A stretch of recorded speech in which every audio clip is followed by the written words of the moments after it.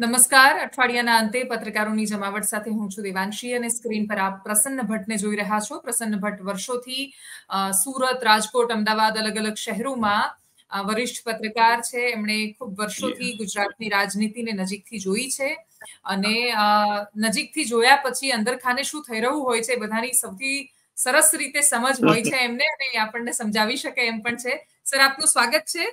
જી જી. ખૂબ ખૂબ ધન્યવાદ. ખૂબ ધન્યવાદ. સુરતમાં શું થઈ રહ્યું છે સર? બેઠક એટલી ટફ તો છે નહીં ભારતીય જનતા પાર્ટી માટે?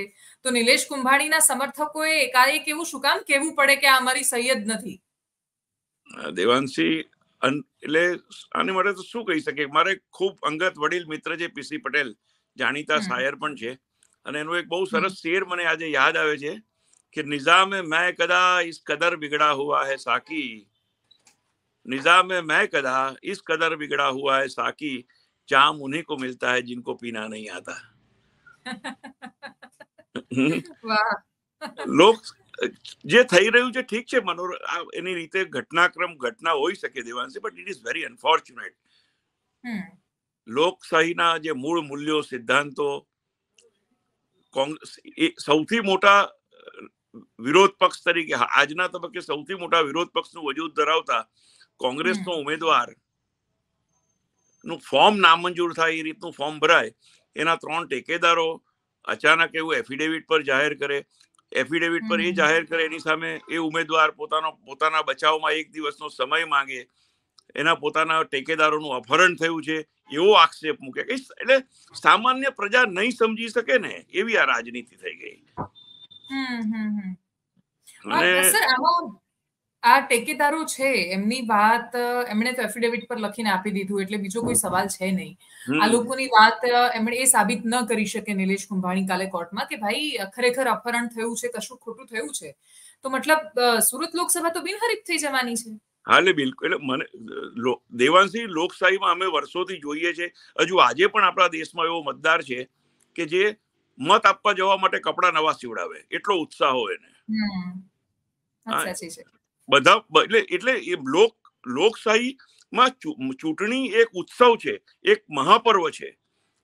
હવે આજે મત આપવા જ કોઈએ નહીં જવાનું એ સ્થિતિનું નિર્માણ થાય અને તે સુરત જેવી લોક મહત્વપૂર્ણ બેઠક પર કોંગ્રેસનો ઉમેદવાર જ ન હોય. હેલો? હા આવે છે અવાજ. એટલે સુરત જેવી મહત્વ આટલી મોટી બેઠક પર કોંગ્રેસના ઉમેદવારનું નિષ્કાસી એટલે ચૂંટણી પહેલા જ હારી જવું. હા એટલે કોઈ ગમે તે જીતે મતદાર અને લોકશાહી હારી ગયા છે અહીંયા. હું બહુ સકેત એટલે મને હું ખૂબ દુઃખ સાથે કહું છું. હું થોડો ભાવુક ભાવુક થઈ જાઉં છું આવી ઘટનાઓ જયારે જોઉં ત્યારે. હા લોક એટલે મતદાર અને લોકશાહી હારી ગયા છે. બનાસકાંઠામાં ગેનીબેને પણ સર એવો આરોપ લગાવ્યો કે મારું ફોર્મ રદ કરાવવાની કોશિશ થઈ છે. તો તમને એવું લાગે છે કે આ બે ત્રણ બેઠકો પર કોશિશ થઈ હશે પ્રયત્ન થયો હશે પણ સફળ એકાદ જગ્યાએ થતો દેખાઈ રહ્યો છે? નહીં પાવર પાવર ગેમમાં જેની પાસે પાવર છે એ પ્લે કરે એ એ પારા એ શરૂઆત એટલે અત્યાર સુધીનો એટલે પારા પૂર્વથી ચાલતો ક્રમ છે કે જિસકી લાઠી ઉસકી ભેંસ. પણ બરાબર છે બધું બરાબર એની જગ્યાએ everything is fair in love and war એવી એક કહેવત છે. પણ એ કહેવત લોકશાહીમાં લાગુ કરવી આ રીતે લાગુ થાય. કોંગ્રેસના ઉમેદવારનું ફોર્મ જ અને હું એવું નથી હું બિલકુલ એવું નથી નથી માનવા તૈયાર કે ત્રણ ટેકેદારો અચાનક આ રીતે પોતાનું એફિડેવિટ આપે ઉમેદવાર ને ખબર ના હોય એવા કેવા ટેકેદાર તો જો અને એ તો એક રીતે આમ જુઓ તો કેટલી બેજવાબદાર કેટલી બેજવાબદાર વાત છે આ. કોંગ્રેસ જેવા પક્ષના ઉમેદના સત્તાવાર ઉમેદવારની કેવી બેજવાબદારી કે ત્રણ ટેકેદારને નહીં સાચવી શકે? અને પ્રજામાં આનો આનો આનો આનો જે મેસેજ જાય તે જાય કે જે પોતાની ઉમેદવારી નથી ટેકેદાર નથી સાચવી શકતા તે કોન્ફિડન્સી શું સાચવશે? એટલે એવું એક મેસેજનું જવું એવું એક એવા એક મેસેજનું નું પર્ક્યુલેટ થવું. Is very dangerous for the health of health of democracy very true આ લોકો છે અલ્પેશ કથિરિયા ધાર્મિક માલવીય એમણે છોડી આમ આદમી પાર્ટી. પછી એવું કહેવાયું કે નિલેશ કુંભાણી છે એ જ ગ્રુપના છે અને એ જે પાટીદારોનું ગ્રુપ છે એ ખાસું એક્ટિવ નિલેશ કુંભાણી પણ પાછા મૂળ અમરેલીના છે. તો આ બધી ઘટનાઓનું શું ઇન્ટરકનેક્શન કોઈ હોઈ શકે છે? એટલે એ બધી સંભાવનાઓ છે ધારણાઓ છે અવધારણાઓ છે. આની અંદર કેવું છે વાત દેવાંશી કે આપણી આપણી પરિસ્થિતિ તો એટલી બધી નાજુક છે કે કોઈ પુરાવો માંગે તો શું આપો તમે આનો? સાચી છે. તમે તમે કશું પણ પૂછો તો આનો કોઈ પુરાવો તો છે જ નહીં. કે નિલેશ કુંભાણીની મરજીથી આ ફોર્મ નિલેશ કુંભાણીએ જાણી જોઈને કરેલું કામ છે નિલેશ કુંભાણીથી કુંભાણીથી અજાણતા થઈ ગયેલું કામ છે આ મેચ ફિક્સિંગ છે મેચ ફિક્સિંગ છે કે અકસ્માત છે? કોણ એટલે ઉમેદવારોને સિફતપૂર્વક ભાજપ ગોઠવવામાં સફળ રહ્યું છે? કે ઉમેદવારના ટેકેદાર ટેકેદાર જે જે ત્રણ ત્રણ મૂક્યા એ કદાચ આ બાજુથી પ્રો પ્રો બીજેપી મુકાયા હોય ટેકે નિલેશ કુંભાણીને ખબર ન હોય કે આ રીતે ભાજપે ગોઠવેલા એની એની સાથે ગોઠવેલા માણસો છે. આ બધી સંભાવનાઓ અવધારણાઓ આપણે આપણે કરીએ. વાસ્તવિકતા એ છે કે કે આજે આજે જે થયું છે એ લોકશાહી માટે અઘટિત છે.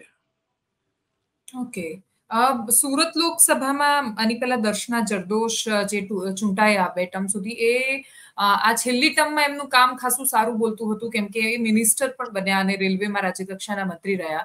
એના પછી એમને બદલીને ભારતીય જનતા પાર્ટીમાંથી જે ટિકિટ આપી, તો એ જોતા તમને સુરત લોકસભાનો માહોલ શું લાગતો હતો, સર?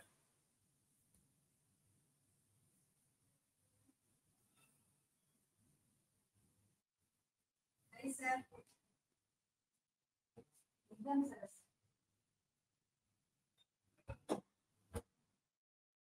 પાયલ પ્રસન્ન ભટ્ટ ડિસ્કનેક્ટ થઈ ગયા છે ઓકે ફોન કરને એક વાર અચ્છા હા આવે છે વાત સર જી અચ્છા ઓકે હા વાત થાય છે હમ શું દર્શના દર્શનાબેનની આપને કઈ વાત આપને કઈ વાત દર્શના જરદોશને લઈને મેં પ્રશ્ન કર્યો હતો કે એમનું પરફોર્મન્સ સારું હતું પછી ઉમેદવાર બદલવામાં આવ્યા. સુરત લોકસભામાં શું કોઈ પણ દ્રષ્ટિકોણથી ફાઇટ દેખાતી હતી આ વખતે? કે પછી નહીં આ વખતે વન સાઇડેડ તમે સમજો સુરત સુરત એક એવી એવી કોન્સ્ટિટ્યુન્સી છે. સુરત છે નવસારી છે. એ વન સાઇડેડ છે દેવાંશી. લાસ્ટ ટાઈમ તમે નવસારી કોન્સ્ટિટ્યુન્સીની તમે તમે લીડ જુઓ સીઆર પાટીલની.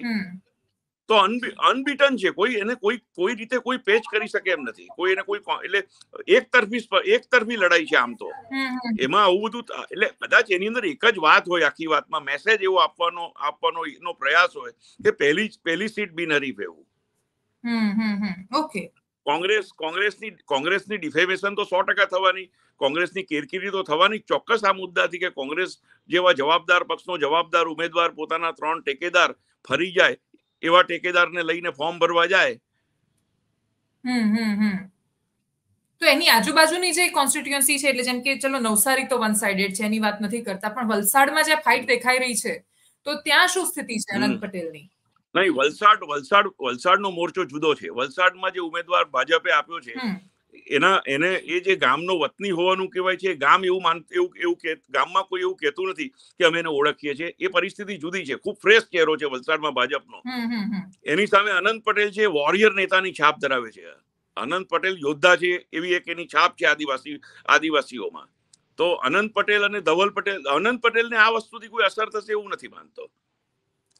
એ વલસાડ કોન્સ્ટિટ્યુન્સીનો પોતાનો પોતાનો નેચર છે પોતાનો આ એક વસ્તુ ચોક્કસ કે કોંગ્રેસના મુદ્દે આ કોંગ્રેસનું ડિવેલ્યુએશન ચોક્કસ કરાવશે. આ આ ઘટના કોંગ્રેસના કોંગ્રેસના મેરિટ્સ ઓછા કરશે. પણ ત્યાં તો આનંદ પટેલ ત્યાં કોંગ્રેસ નથી લડતી ત્યાં આનંદ પટેલ લડે છે. હા એટલે મારો પ્રશ્ન જે છે કે વલસાડ લોકસભાની શું સ્થિતિ છે? તમે કહ્યું કેમ ત્યાં જ્યાં ગેની ગેનીબેન લડે છે ત્યાં ગેનીબેન લડે છે કોંગ્રેસ નથી લડતી. કોંગ્રેસ તો આજે ક્યાં લડવાની સ્થિતિમાં રહ્યું એવું દેખાય છે? જ્યાં ઉમેદવારો છે ત્યાં ઉમેદવાર પોતે પોતાના બલબૂતા પર કોંગ્રેસની વિચારધારાને લઈને જજુમે છે. કોંગ્રેસના સમર્થનથી એ લોકો મજબૂત નથી. એમને કારણે કોંગ્રેસ મજબૂત છે. જેમ કે ગેનીબેન છે તો ગેનીબેન છે તો કોંગ્રેસનું વજૂદ છે ત્યાં. અહીં અનંત પટેલ છે તો અનંત પટેલને કારણે કોંગ્રેસનું વજૂદ છે. અને એ એ વજૂદ કેટલું મજબૂત છે વલસાડમાં? ટક્કર છે જબરદસ્ત સંભાવનાઓ કાંટાની ટક્કર. કાંટાની ટક્કર જે ફોર્મ ભરવામાં નું ફોર્મ ભરવામાં શક્તિ પ્રદર્શનનો જે એક એક નવો ચીલો ચતરાયો છે, તો એ નવા ચીલામાં તમે જુઓ, ભાજપે ફોર્મ ભર્યું ત્યારે જે જે જનસંખ્યા હતી, એના કરતાં દોઢી બમણી જનસંખ્યા આનંદ પટેલમાં હતી. તમે ભાજપમાં જુઓ તો ઓર્ગેનાઇઝ વેમાં એટલે સંપન્ન સંપન્ન કાર્યકરોને સંપન્ન પાર્ટી દેખાતી હતી. પેલામાં એ પેલામાં નીટ કાર્યકરો દેખાતા હતા. અનંત પટેલમાં તમે જુઓ તો ગામડે ગામડેથી ડાંગના છેવાડાના ગામમાંથી મહારાષ્ટ્રની બોર્ડરના છેલ્લા ગામમાંથી માણસ પોતાનો રોટલો બાંધીને આવતા મેં જોયો છે ત્યાં. કે અનંત પટેલ કઈ ખવડાવે કે નહીં ખવડાવે એની ફિકર નહોતી. પણ એ કાર્યકર ત્યાં આવેલો મેં જોયો છે. હું કોઈનો પક્ષકાર નથી. હું તો પત્રકાર છું. આપણે તો બિલકુલ નિષ્પક્ષ ભાવે એનું મૂલ્યાંકન કરવાનું છે પરિસ્થિતિઓનું ને જોવાનું છે. તો એ અનંત પટેલમાં આવેલી આવેલી જે મેદની હતી એ સ્વયંભૂ દેખાતી હતી.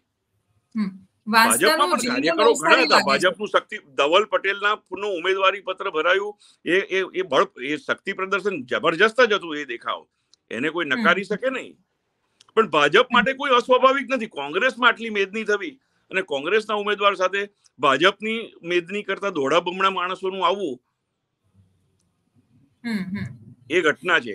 કોંગ્રેસ માટે આટલા માણસો તેમની તાકાત વાંચતા સુધી સીમિત છે કે પછી આખી લોકસભામાં અસર કરી રહ્યા નહીં આજે આજની તારીખમાં તમે જુઓ ને તો તમે જુઓ પારડી વલસાડની અંદર ત્રણ વલસાડની અંદર ત્રણ વિધાનસભા મત વિસ્તાર એવા ઉમરગામ પારડી અને વલસાડ કે જે આજ એની સામે ધરમપુર કપરાડા વાંસદા અને ડાંગ. તો આ ચાર ચાર ને ત્રણમાં એટલે આ આ રીતે વહેંચાયેલો જે આખો પ્રદેશ છે. એમાં ચોક્કસ બળાબળના પારખા થશે. વાંસદા ડાંગ કપરાડા ધરમપુર સુધીના પટ્ટામાં જો અનંત પટેલ એક તરફી દેખાવ કરે કે એક સરખું ચાલે અને ધરમ આ બાજુના ત્રણ તાલુકાની અંદર પરિસ્થિતિઓ બેલેન્સ થાય કાં ભાજપ આ બાજુ એનો પોતાનો લીડ કાપે તો પણ કાંટા કાંટાની ટક્કર તો આજે કેવી જ પડે તમારે એને. ભાજપ એવું વિચાર ભાજપે એને હલકામાં લઈ શકે નહીં. છવ્વીસમાંથી છવ્વીસ બેઠક છવ્વીસમાંથી છવ્વીસ બેઠકનો જે ઇતિહાસ છે એ જાળવી રાખવા માટે વલસાડમાં એ લોકોએ પરિશ્રમ કરવો પડે. ચોક્કસ જ પરિશ્રમ કરવો પડે અને ખૂબ પરિશ્રમ જોઈએ. જો કે ભારતીય જનતા પાર્ટી આમ તો પરિશ્રમ કરવામાં તો હોશિયાર છે એમના કાર્યકર્તાઓ પણ બહુ મહેનત એ લોકોને માટે ચૂંટણી એ લોકોને માટે ચૂંટણીની ચૂંટણી એ લોકોની સિદ્ધ સિદ્ધ કવાયત છે. They have proven themselves number of times yes yes yes એક કળા હસ્તગત કરી લીધી છે અને જો જીતા વહી સિકંદર એક્ઝેક્ટલી મારે દક્ષિણ ગુજરાતની બીજી એક બેઠક પર પણ ભરૂચમાં તમને શું લાગી રહ્યું છે સર? કેમ કે ભરૂચમાં ફરી કહું છું ભરૂચમાં પણ ચૈતર વસાવા જે ઉમેદવાર છે એ ઉમેદવાર પોતાના વજૂદ પર પોતાનું પોતાનું પોતાનું જોર એટલે પોતાનું જોર બતાવી રહ્યો છે. ના નહીં પાડી શકાય એમાં. ચૈતર વસાવાનો દેખાવ સારો રહેશે ખૂબ સારો રહેશે. ઓકે એટલે ભાજપની મજબૂત જો આમાં ફરી દેવાંશી ભાજપની મજબૂતી વિશે કોઈ પણ ટીકા ટિપ્પણી કરી શકાય નહીં. કેમ કે ચૂંટણીના પરિણામો જે આવે જ્યારે જાહેર થાય છે ત્યારે એ સ્વયં એ સ્વયં પોતે બધું જ કહી દેતા હોય છે.